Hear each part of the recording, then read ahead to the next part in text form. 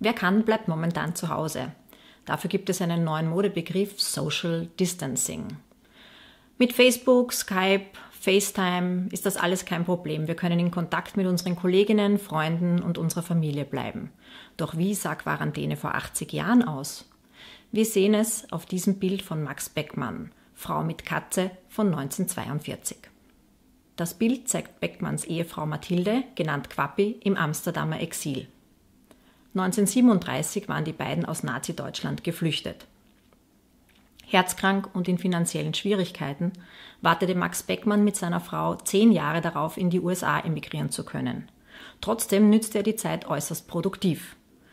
Zum Beispiel hier in diesem sehr gelungenen Bild, bei dem er drei verschiedene Malereigattungen, nämlich Figurenbild, Interieur und Stillleben miteinander verbindet.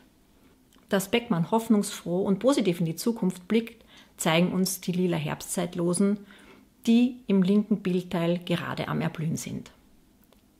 Und am Schluss eine Empfehlung von eurer Kunstvermittlerin.